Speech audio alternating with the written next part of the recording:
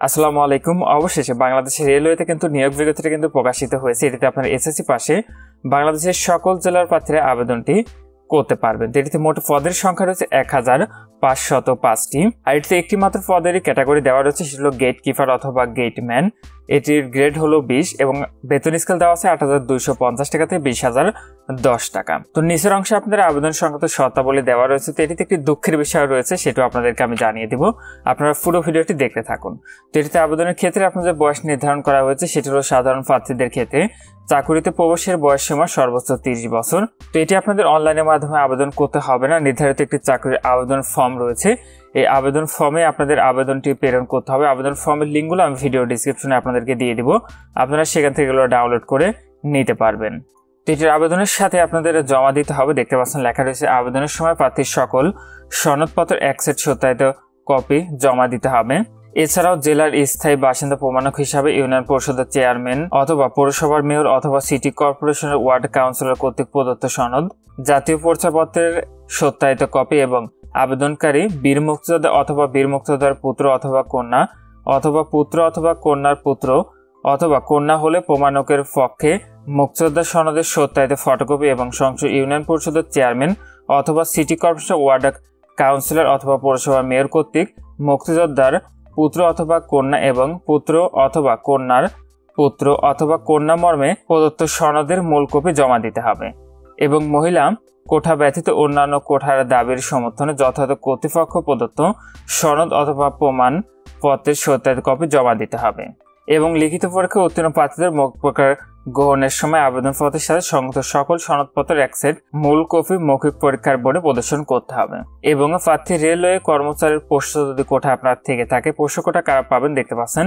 Bangladesh railway স্থায়ী পদে অনন্য, বিশ বছর চাকরি সম্পন্ন হয়েছে এরূপ কর্মকর্তা বা অবসরপ্রাপ্ত জীবিত বা মৃত কর্মচারীর সন্তান ও বিধবা স্ত্রী পোষ্য হিসাবে গণ্য হবে।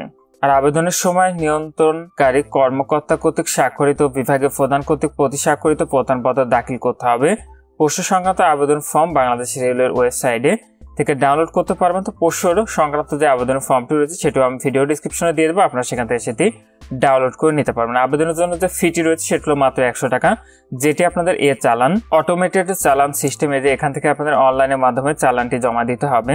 এখান থেকে আপনাকে যে সরকারি প্রতিষ্ঠান বরাবর টাকাটি জমা দেবেন, সেটি এখানে আপনি সিলেক্ট করবেন। দেখতে পাচ্ছেন এখানে লেখা রয়েছে মহা পরিচালকের কার্যালয়, বাংলাদেশ রেলওয়ে। এটি এখানে সিলেক্ট করবেন এবং পরীক্ষার ফি বাবদ মানে কি বাবদ ফিটি আপনি জমা দেবেন সেটি হল পরীক্ষার ফি এখানে টাকার অ্যামাউন্টটি লিখে দিবেন এবং অন্যান্য যে তথ্যগুলো রয়েছে, এখানে আপনি সম্পূর্ণ পূরণ করবেন এবং কী মাধ্যমে ফিটি পরিশোধ করবেন? অনলাইন মোবাইল ব্যাংকিং বা ব্যাংক অ্যাকাউন্টের মাধ্যমে। সেটি আপনি এখানে সিলেক্ট করবেন, যেটির মাধ্যমে জমা দিতে চাচ্ছেন। আর যদি কোনো মন্তব্য থাকে, তাহলে এখানে সেটি লিখে দিতে পারেন। আর আপনার যদি এটির আবেদন কীভাবে করবেন, চাকরির আবেদন ফর্ম কীভাবে লিখবেন, এই সম্পর্কিত ভিডিও যদি আপনারা দেখতে চান, সেক্ষেত্রে অবশ্যই কমেন্ট করে জানাবেন। আমি আবেদনের পদ্ধতি নিয়ে আপনাদের একটি ভিডিও তৈরি করে দেখিয়ে দিব।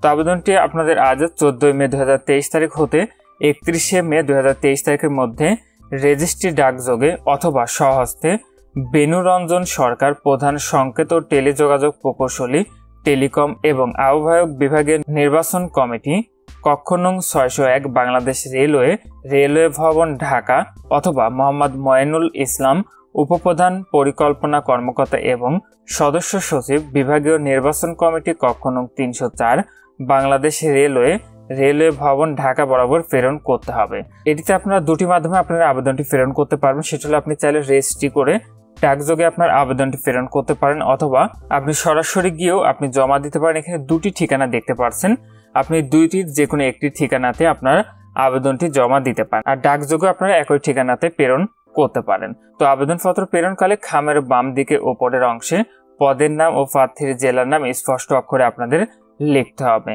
তো আপনি যে খামে করে আপনার আবেদনটি প্রেরণ করবেন, সেই খামে ওপরে পদের নাম এবং আপনার নিজ জেলার নামটি অবশ্যই উল্লেখ করবেন। আর আপনাদের কাছে একটি অনুরোধ থাকবে, আপনারা যখনই আবেদনটি করেন, নিজ দায়িত্বে নিয়োগপত্র সম্পূর্ণ ভালো করে পড়ে নেবেন। প্রথমত আমি আপনাদেরকে একটি দুঃখের বিষয় জানাতে চেয়েছিলাম, সেটি হলো, এখানে শর্তাবলীর কয়ে দেখতে পাচ্ছেন লেখা রয়েছে, আবেদনকারীকে আবশ্যিকভাবে কমপক্ষে দুই বছর বাংলাদেশ রেলওয়ে প্রকল্পে গেট কিপার অথবা গেটম্যান হিসাবে চাকরির অভিজ্ঞতা থাকতে হবে। যথাযথ প্রক্রিয়ায় নিয়োগের মাধ্যমে চাকরিকালীন সময়ে নিরবিচ্ছিন্ন হতে হবে। আবেদনপত্রের সাথে অভিজ্ঞতার সনদ এবং যথাযথ প্রমাণক দাখিল করতে হবে। যা মহাব্যবস্থাপক পূর্ব অথবা পশ্চিম বাংলাদেশ রেলওয়ে কর্তৃক প্রত্যায়িত হতে হবে। অন্যথায় আবেদন কিন্তু বাতিল হবে। তো আবেদনের ক্ষেত্রে আপনাদের থেকে কিন্তু অভিজ্ঞতা চেয়েছে, সেটি হলো দুই বছর। আপনাদের কেবলমাত্র অভিজ্ঞতা থাকলেই আপনারা আবেদনটি করতে পারবেন এবং আপনাদের অভিজ্ঞতার সনদটি কিন্তু নিতে হবে। নিয়ে আবেদনের সাথে আপনাদের প্রেরণ করতে হবে। তো এখানে এই ছিল সেই দুঃখের বিষয়টি। আসলে সাধারণ কোনো প্রার্থী আপনারা এটিতে আবেদনটি করতে পারবেন না। যাদের আপনাদের অভিজ্ঞতা রয়েছে, তারাই কেবলমাত্র আপনার এটিতে আবেদনটি করতে পারবেন। এবং আপনাদের আবেদনের সাথে কিন্তু আবেদনের এই চালানের মূল কপিটি কিন্তু অবশ্যই প্রেরণ করতে হবে। তো এখানে এই ছিল বাংলাদেশ রেলওয়েতে দুই হাজার তেইশ সালে যে নতুন নিয়োগ বিজ্ঞপ্তিটি প্রকাশিত হয়েছে, সেই নিয়োগ বিজ্ঞপ্তিটি। আজকের ভিডিওটি এই পর্যন্ত ভালো থাকুন, সুস্থ থাকুন, নিরাপদ থাকুন, আল্লাহ হাফেজ।